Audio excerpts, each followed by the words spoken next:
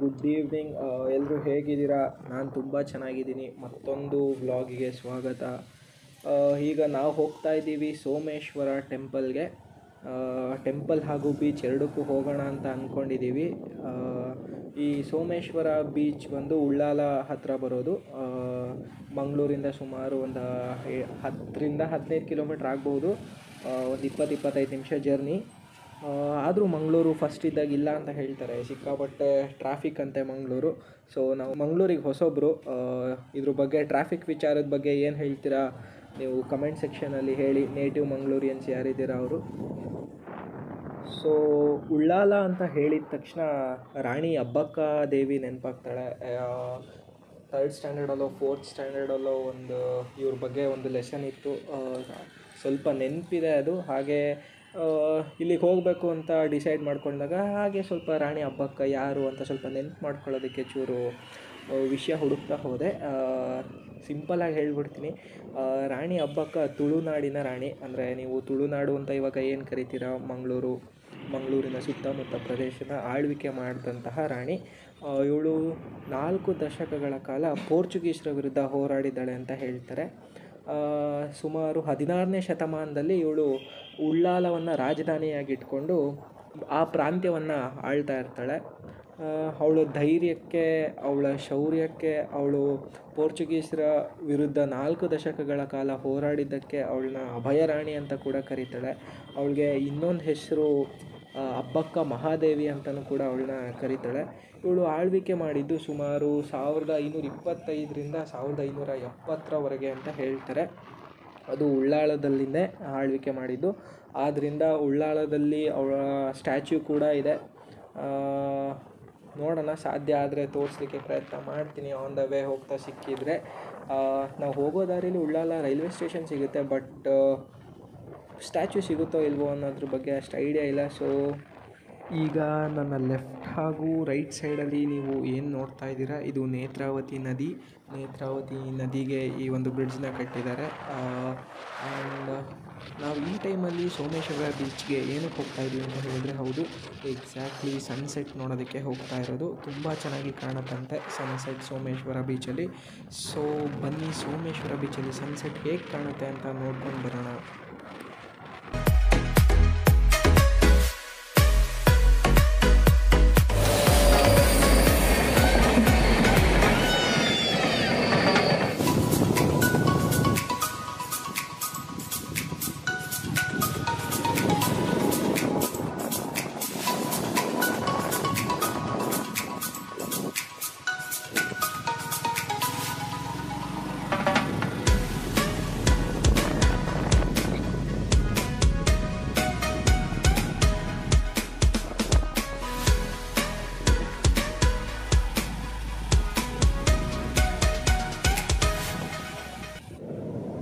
So guys welcome to Someshwara beach ಇದನ್ನು Someshwara beach ಅಂತ ಏನಕ್ಕೆ ಕರೀತಾರೆ ಅಂತ ಹೇಳಿದ್ರೆ ಇಲ್ಲಿ ಸೋಮೇಶ್ವರ ಟೆಂಪಲ್ ಇದೆ. ಸೋಮೇಶ್ವರ ಊರಿಂದ ಸುಮಾರು ಅರ್ಧ ಕಿಲೋಮೀಟರ್ ಆಗುತ್ತೆ. ನಿಮಗೆ ಮಂಗಳೂರಿಂದ ಸೋಮೇಶ್ವರವರೆಗೂ ಬಸ್ ಸಿಗುತ್ತೆ. ಪ್ಲಸ್ ಸೋಮೇಶ್ವರದಿಂದ ಇಲ್ಲಿಗೆ ಒಂದು ಅರ್ಧ ಕಿಲೋಮೀಟ್ರ್ ಆಗುತ್ತೆ. ಕನ್ವೀನಿಯೆಂಟಾಗಿ ಬಸ್ ಇದೆ. ಮತ್ತು ಇದನ್ನು ಸೋಮೇಶ್ವರ ಬೀಚ್ ಅಂತ ಏನಕ್ಕೆ ಕರೀತಾರೆ ಅಂತ ಹೇಳಿದ್ರೆ, ಇಲ್ಲಿ ಸುಮಾರು ಇಲ್ಲಿನ ಒಂದು ಅರ್ಧ ಕಿಲೋಮೀಟ್ರ್ ಆಗುತ್ತೆ. ಸೋಮೇಶ್ವರ ಟೆಂಪಲ್ ಇದೆ. ಇದು ಸುಮಾರು ನೂರಾರು ವರ್ಷದ ಇತಿಹಾಸ ಇದೆಯಂತೆ. ಈ ಟೆಂಪಲ್ಗೆ ಹೋಗ್ತಾ ಅದನ್ನು ನೋಡ್ಕೊಂಡು ಹೋಗೋಣ. ಹಾಗೆ ಇದನ್ನು ರಾಣಿ ಅಬ್ಬಕ್ಕ ದೇವಿ ಕಾಲದಲ್ಲಿ ಕಟ್ಟಿಸಿದ್ದು ಅಂತ ಹೇಳ್ತಾರೆ. ನೋಡೋಣ ಆ ಟೆಂಪಲ್ ಬಗ್ಗೆ ಮತ್ತೆ ಇನ್ನೇನೇನು ಗೊತ್ತಾಗುತ್ತೆ ಅಂತ. ಸುಮಾರು ಈ ಸೀ ಶೋರ್ ಏನಿದೆ ತೋರಿಸ್ತೀನಿ ನಾನು. ಈ ಎಂಡ್ ಇಂದ ಆ ಕಡೆ ಎಂಡ್ ವರೆಗೆ ಸುಮಾರು ಒಂಬತ್ತು ಕಿಲೋಮೀಟ್ರ್ ಇದೆಯಂತೆ ಈ ಸೀ ಶೋರ್ ಆಮೇಲೆ ಇಲ್ಲಿ ಆಟಾಡಲಿಕ್ಕೆ ಬಿಡೋದಿಲ್ಲ ಲೈಕ್ ಬೀಚಿಗೆ ಇಳಿಯೋದಕ್ಕೆ ಬಿಡೋದಿಲ್ಲ. ಯಾಕಂತ ಹೇಳಿದ್ರೆ ನೋಡ್ಬೋದು ನೀವು ಇಲ್ಲಿ ಎಷ್ಟು ಡೀಪ್ ಇದೆ ಅಂತ ಗೊತ್ತಾಗ್ತಾ ಇದೆ ಇದು ಸೀ ಶೋರ್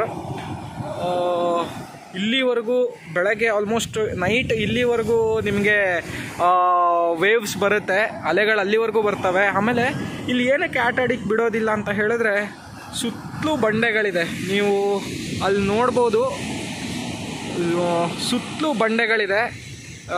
ಆಮೇಲೆ ತುಂಬ ಡೀಪ್ ಇರೋದ್ರಿಂದ ಅಲೆಗಳು ರಭಸವಾಗಿರುತ್ತೆ. ಆಮೇಲೆ ವರ್ಷಕ್ಕೆ ಸುಮಾರು ಡೆತ್ಸ್ ಎಲ್ಲ ಆಗುತ್ತೆ ಅಂತ ಕೇಳ್ಪಟ್ಟಿದ್ದೀನಿ ಇಲ್ಲಿ. ಯಾಕೆ ಅಂತ ಹೇಳಿದ್ರೆ ಕರೆಂಟ್ಸ್ ವಾಟರ್ ಕರೆಂಟ್ಸ್ ಅಷ್ಟು ಫಾಸ್ಟ್ ಇರುತ್ತೆ. ಹಾಗೆ ನೀರು ಒಳಗೆ ಹೇಳ್ಕೊಂಡ್ಬಿಡುತ್ತಂತೆ. ಇಷ್ಟು ಡೀಪ್ ಇರೋದ್ರಿಂದ ಸೀಶೋರು ಸೊ ಆದಷ್ಟು ಇಲ್ಲಿಗೆ ಬಂದವರು ನೀರಿಂದ ಆಚೆನೇ ಇರಿ. ಸುಮಾರು ಮಂಗಳೂರಿಂದ ಒಂದು ಹದಿನೈದು ಕಿಲೋಮೀಟ್ರ್ ಆಗುತ್ತೆ. ಬಸ್ ಕನ್ವೀನಿಯೆಂಟ್ ತುಂಬ ಚೆನ್ನಾಗಿದೆ ಇಲ್ಲಿಗೆ. ಹಾಗೆ ಸನ್ಸೆಟ್ ವ್ಯೂ ಪಾಯಿಂಟ್ ಅಂತ ಕರೀತಾರೆ ಇದನ್ನು. ಯಾಕೆ ಅಂತ ಹೇಳಿದ್ರೆ, ಈ ನೀವು ಅರಬಿ ಸಮುದ್ರದಲ್ಲಿ ಇರ್ತಕ್ಕಂತಹ ಎಲ್ಲ ಬೀಚ್ಗಳು ಸನ್ಸೆಟ್ ನೋಡೋಕ್ಕೆ ಇರ್ತಕ್ಕಂಥ ಬೀಚ್ಗಳೇ ಸೊ ಇಲ್ಲಿಗೂ ಬಂದರೆ ರೈಟ್ ಟೈಮ್ ನಿಮಗೆ ಅಕ್ಟೋಬರ್ ಟು ಫೆಬ್ ಮಾರ್ಚ್ವರೆಗೂ ನೀವು ಮಂಗಳೂರಿಗೆ ವಿಸಿಟ್ ಮಾಡಿ ಸೋಮೇಶ್ವರ ಬೀಚಿಗೆ ಬಂದರೆ ನಿಮಗೆ ತುಂಬ ಒಳ್ಳೆ ಸನ್ಸೆಟ್ ಸಿಗುತ್ತೆ. ಇಲ್ಲಿ ಇವತ್ತು ಮೋಡ ಆಗಿದೆ. ಹಾಗಾಗಿ ಸನ್ಸೆಟ್ ನಮಗೆ ಎಷ್ಟು ಸಿಗುತ್ತೋ ಇಲ್ವೋ ಗೊತ್ತಿಲ್ಲ. ನೋಡೋಣ ಎಷ್ಟಾಗುತ್ತೆ. ಲೆಟ್ಸ್ ಕ್ಯಾಪ್ಚರ್ ಎಷ್ಟಾಗುತ್ತೆ ಅಷ್ಟು. ಅಲೆ ಮಾತ್ರ ತುಂಬ ಫೋರ್ಸ್ ಆಗಿದೆ.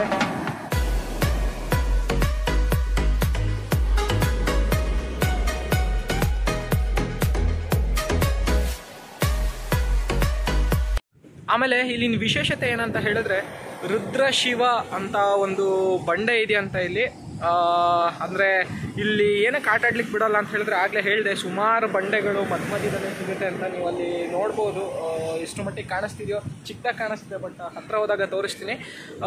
ರುದ್ರ ರುದ್ರಶಿವ ಅಂತ ಹೆಸರಿಂದ ಒಂದು ಬಂಡೆ ಇದೆ ಅಂತ ಹಾಗಾಗಿ ಇದನ್ನು ರುದ್ರಶಿವ ಬೀಚ್ ಅಂತಲೂ ಕರೀತಾರೆ ಅಂತ ಕೇಳ್ಪಟ್ಟಿದ್ದೀನಿ. ಬಟ್ ಅಷ್ಟು ಫೆಮಿಲಿಯರ್ ಇಲ್ಲ ಆ ಹೆಸರಲ್ಲಿ. ಸೊ ಬೀಚ್ನ ಎಂಜಾಯ್ ಮಾಡಿಕೊಂಡು ಆಟಾಡ್ಲಿಕ್ಕೆ ಹೋಗಂಗಿಲ್ಲ. ಸೊ ಆದರೂ ವ್ಯೂವ್ನ ಎಂಜಾಯ್ ಮಾಡಿಕೊಂಡು ವಾಕ್ ಮಾಡಿಕೊಂಡು, ದೇವಸ್ಥಾನ ನೋಡಿಕೊಂಡು ಹೊರಡೋಣ, ಬನ್ನಿ.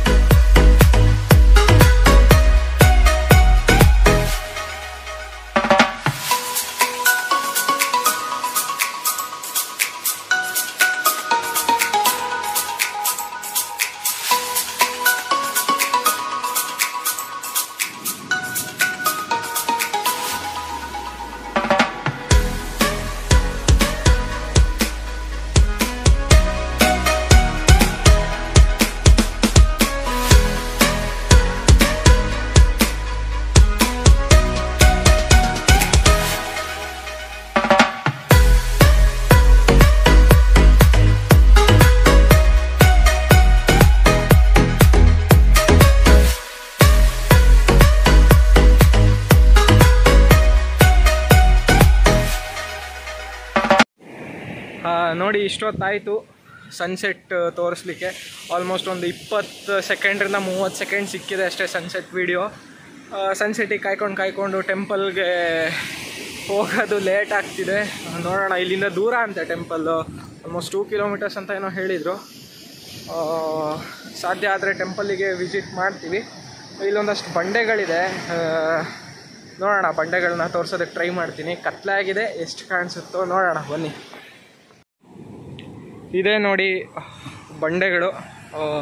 ಆ್ಯಕ್ಚುಲಿ ಇಲ್ಲಿ ಫೋಟೋ ಶೂಟ್ಸ್ಗೆ ಚೆನ್ನಾಗಿದೆ ಬಟ್ ಇಲ್ಲಿ ನೀರಲ್ಲಿ ಇಳಿಯಕ್ಕೆ ಹೋದವರು ಸುಮಾರು ಜನ ವಾಪಸ್ ಬಂದಿಲ್ವಂತೆ. ಸುಮಾರು ಡೆತ್ಸ್ಗಳಾಗುತ್ತಂತೆ ಪ್ರತಿ ಇಯರ್ ಇಲ್ಲಿ. ಹಾಗಾಗಿ ಇಲ್ಲಿ ಯಾರೂ ನೀರೊಳಗೆ ಇಳಿಯೋದಕ್ಕೆ ಬಿಡಂಗ್ ಬಿಡೋದಿಲ್ಲ. ಆಮೇಲೆ ಸ್ಟ್ರಿಕ್ಟ್ಲಿ ಪ್ರಾಹಿಬಿಟೆಡ್ ಇಲ್ಲಿ ನೋಡಿ ನಿಮಗೆ ಈ ಥರ ಸ್ಲಿಪ್ಪರ್ಸ್ಗಳು ಪ್ಲಾಸ್ಟಿಕ್ಸ್ ಅದು ಇದು ಕಾಣಿಸುತ್ತವೆ ಸುತ್ತಮುತ್ತ. ಸೊ ನೀವು ಆಚೆ ಬಂದಾಗ ಇದನ್ನೆಲ್ಲ ಅವಾಯ್ಡ್ ಮಾಡಿ, ಅದ್ರ ಬದಲು ನೀವು ಆ ಥರದ್ದು ಏನಾದ್ರು ತಂದ್ರೂ ತಿಂದ್ಬಿಟ್ಟು ನಿಮ್ಮ ಬ್ಯಾಗ್ನಲ್ಲೇ ಹಾಕ್ಕೊಂಡು ವಾಪಸ್ ಹೋಗಿ. ಸೊ ದಟ್ಸ್ ಇಟ್ ಫ್ರೆಂಡ್ಸ್ ಇದು ಇವತ್ತಿನ ವ್ಲಾಗ್ ಆಗಿತ್ತು. ಆ್ಯಂಡ್ ಇನ್ನೊಂದು ಗುಡ್ ನ್ಯೂಸ್ ಏನಂತ ಹೇಳಿದ್ರೆ ಆಲ್ಮೋಸ್ಟ್ ಇನ್ನು one one and half year ನಾನು ಮಂಗಳೂರಲ್ಲಿ ಇರ್ತೀನಿ. ಸೊ ಎಷ್ಟಾಗುತ್ತೆ ಅಷ್ಟು ಮಂಗಳೂರನ್ನ ಎಕ್ಸ್ಪ್ಲೋರ್ ಮಾಡೋಣ. ಎಕ್ಸ್ಪೆಕ್ಟ್ ಮಾಡ್ಬೋದು ತಿಂಗಳಿಗೆ. ಮೂರರಿಂದ ನಾಲ್ಕು ವೀಡಿಯೋ ಅಂತೂ ಎಕ್ಸ್ಪೆಕ್ಟ್ ಮಾಡ್ಬೋದು. ಸದ್ಯದಲ್ಲೇ ಅದು ಜಾಸ್ತಿ ಆಗುತ್ತೆ. ಟೈಮ್ ಫ್ರೀ ಆದಾಗಲೆಲ್ಲ ಮಂಗಳೂರು ಸುತ್ತಮುತ್ತ ಇರೋ ಪ್ಲೇಸ್ಗಳನ್ನ ಎಕ್ಸ್ಪ್ಲೋರ್ ಮಾಡ್ತಾ ನಿಮ್ಮ ಮುಂದೆ ಇಡೋ ಪ್ರಯತ್ನ ಮಾಡ್ತೀನಿ. ಆ್ಯಂಡ್ ನಾನು ನಿಮಗೆ ವೀಡಿಯೋದಲ್ಲಿ ತೋರಿಸ್ತಾ ಇದ್ದೀನಿ. ಪ್ಲಾಸ್ಟಿಕ್ಸ್ ಅದು ಇದು ಇಲ್ಲಿಲ್ಲ ಎಷ್ಟೋಗಿದ್ದಾರೆ. ಪ್ಲೀಸ್ ನೀವು ದಯವಿಟ್ಟು ಆ ಥರದ್ದು ಏನಾದ್ರು ತಂದರೆ ದಯವಿಟ್ಟು ಅದನ್ನು ಡಸ್ಟ್ಬಿನ್ಗೆ ಹಾಕಿ ಹೋಗಿ ಸ್ಲಿಪ್ಪರ್ ಹರಿದೋಗಿದ್ರೆ ಅದನ್ನು ತೊಗೊಂಬಂದು ಇಲ್ಲೇ ನೀರಲ್ಲಿ ಎಸೆಯೋದು. ಇದನ್ನೆಲ್ಲ ಸ್ವಲ್ಪ ಅವಾಯ್ಡ್ ಮಾಡಿ, ಸ್ವಲ್ಪ ಅಲ್ಲ ಕಂಪ್ಲೀಟಾಗಿ ಅವಾಯ್ಡ್ ಮಾಡಿ ಆ್ಯಂಡ್ ಮರಿಬೇಡಿ ಸಬ್ಸ್ಕ್ರೈಬ್ ಆಗಿ ಕೆಳಗಡೆಗೆ. ಎಷ್ಟಾಗುತ್ತೆ ಅಷ್ಟು ಮಂಗಳೂರನ್ನ ಎಕ್ಸ್ಪ್ಲೋರ್ ಮಾಡೋಣ. So see you till next video bye bye